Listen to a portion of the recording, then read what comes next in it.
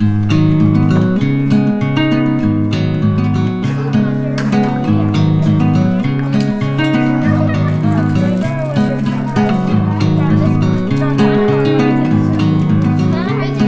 this project is about like learning kinetic energy and potential energy along with like gravity I guess.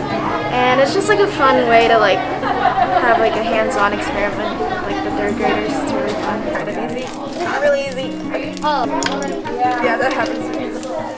So today we're making peppermint racers. So we made these little cars out of peppermints, straws, popsicle sticks, and Index cards. And we were just building them and doing a little bit of engineering and seeing how far they went and also modifying the cars themselves and just seeing what made it go faster or what made it go farther. This.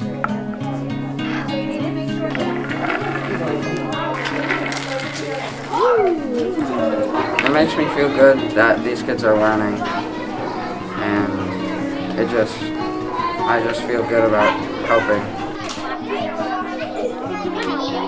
Thank you, CAST program.